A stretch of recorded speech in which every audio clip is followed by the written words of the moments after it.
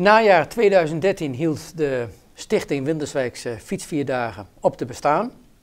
Velen dachten eigenlijk met mij dat het uh, afgelopen zou zijn met de Winterswijkse Fietsvierdagen, maar niets is minder waar. We hebben nu de stichting WF Evenementen Ben Bengevoort. WF, dat, uh, de eerste vraag gelijk maar. WF, waar staat dat voor? WF, ja, een heleboel mensen die denken de Winterswijkse Fietsvierdaagse, maar het is in principe staat het voor wandel- en fietsevenementen Winterswijk. Uh, dat we ja, hebben gedacht om uh, naast fietsevenementen uh, als, ja, als experiment ook wat wandelevenementen te gaan organiseren.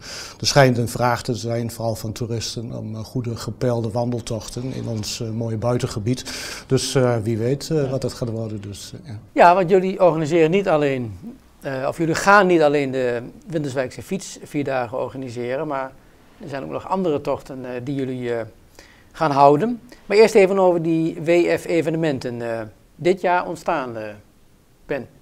Ja, we zijn in januari opgericht met een officiële notariële akte.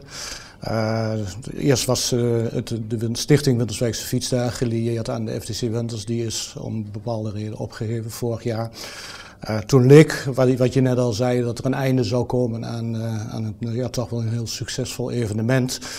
En mede op aandrang van Stichting Promotie Winterswijk, 100% Winterswijk en de VVV, is, zijn we toch weer aan tafel gekomen en zijn we tot de conclusie gekomen dat dit niet verloren mag gaan voor de Winterswijkse samenleving en ook uiteraard voor het bedrijfsleven en het toerisme.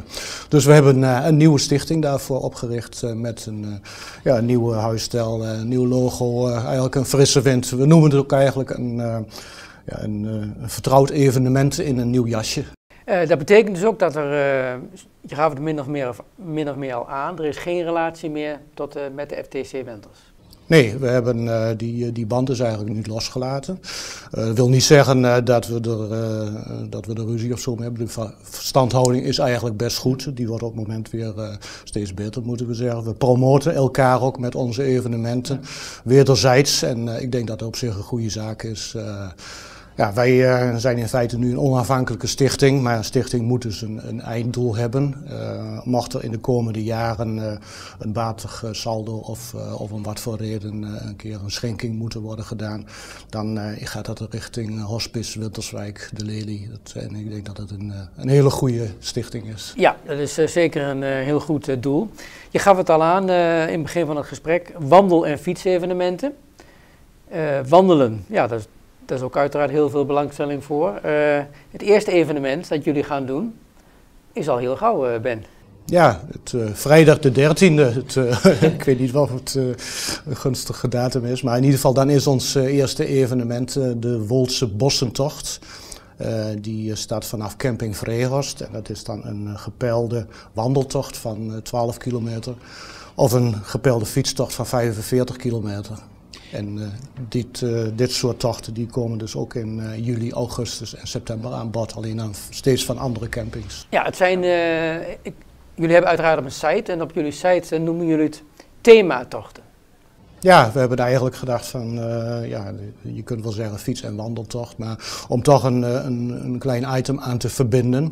Nou, de eerste keer is het dus de Wolse Bossentocht vanaf uh, Vreehorst. In juli hebben we de heuvelentocht vanaf de Twee Bruggen. Die gaat naar de heuvels in, in Aalten, rond Aalten. Mm -hmm. De derde keer is in augustus vanaf de Sevingmolen de Merentocht. uiteraard het Hilgelo, maar ook Zwilbroek, de Leemputten en dergelijke. Dus veel water ja. onderweg. En we sluiten af in september met de Groene Grenzentocht. En die start en finisht bij het winkel, Reuslink in de Brinkwerden. Ah ja, en is de bedoeling dat dit dan jaarlijks terugkerende tochten zijn? Nou, in feite is het nu een, een soort pilot, zeg maar, die wandel- en fietstochten. We gaan dat uh, aan het eind van dit jaar gaan we dat uiteraard eventjes evalueren. Of, uh, of het een succes is of niet en of er wat aan veranderd moet worden. Maar het is eigenlijk wel de intentie om daar een, een jaarlijks, naast de fietsvierdaagse toch wel een, een, jaarlijks gebeuren van te maken. Ja. En wat me ook opvalt, op een vrijdag. Ook een bewuste keuze, denk ik, geweest van jullie?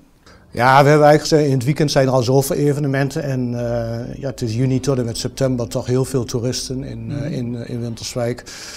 Ja, dat is eigenlijk voor een vrijdag gekozen, logistiek gezien, dat het ons als organisatoren het beste uitkwam. Ten mhm. eerste natuurlijk. Uh, daarnaast ja, de, de, mensen die bij ons meedoen, of wie we verwachten aan het wandelen en aan het fietsen, dat zijn toch over het algemeen eh, de mensen, de 50, 55-plussers, wie of vrijdag sowieso al vrij hebben of gemakkelijk een, een vrije dag kunnen nemen. Ja, ja. ja want een, een aspect is natuurlijk dat je mensen nodig hebt hè, om die tochten uit te zetten. En ja, je hebt nog, nog, meer mensen nodig natuurlijk voor die tochten, die thematochten, heb je daar dan nog veel mensen bij nodig? Nou, dat valt nog wel mee. Daar hebben we denk ik per keer ongeveer 10, hooguit 12 mensen voor nodig. Daar is maar één, één stop onderweg en dat zijn ja, eigenlijk vrij gemakkelijk te peilen routes. Maar ja, met de fiets Vierdaagse hebben we er wel bijna 60 nodig. Dus, ja. Jullie hebben inmiddels ook al een site, hè? zag ik al? Ja, we hebben eigenlijk twee sites. Uh, www.wfevenementen.nl, dat is dus uh, over de thematochten. En dan uiteraard www.fietsvierdaagse-winterswijk.nl over de fietsvierdaagse. Ja. Nu willen we wat inzoomen op uh, ja, waar het eigenlijk allemaal om gaat. Hè, zonder de, de thematochten te niet te willen doen. Het gaat eigenlijk om die Winterswijkse fietsvierdaagse. Gelukkig behouden. Ben, um, maar je hebt voor andere dagen gekozen. Ja, we hebben uh, in het verleden uh, was de, de Winterswijkse fietsdagen, of die waren van, van donderdag tot en met zondag.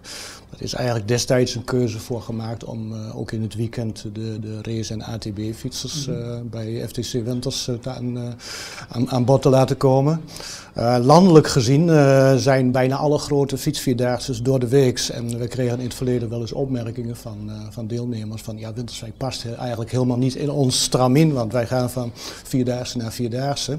En uh, in het weekend uh, verkassen we naar een andere plek.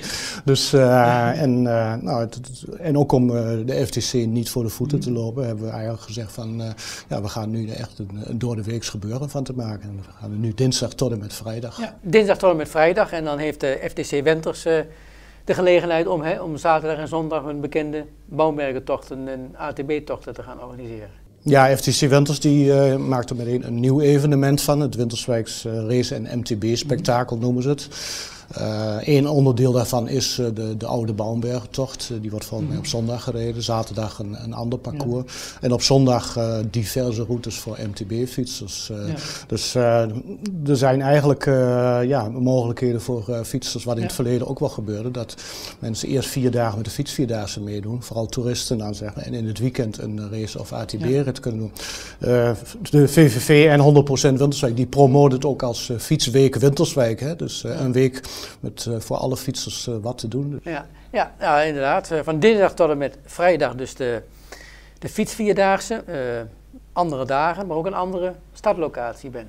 Ja, we hebben uh, in overleg, of uh, ja, ze hebben het eigenlijk zelf aangeboden. Uh, FC Trias, die heeft daar een, een, prachtig complex, het Huitingveld. Vlak bij de oude locatie en een, ja, een perfecte uitvalsbasis voor ons mooie buitengebied. Je zit dan toch wel aan een mooie kant van Winterswijk, Woldkotten, Ratem, Huppel. Dus ja, daar hebben we mee om tafel gezeten. En die mensen zijn ook heel erg enthousiast.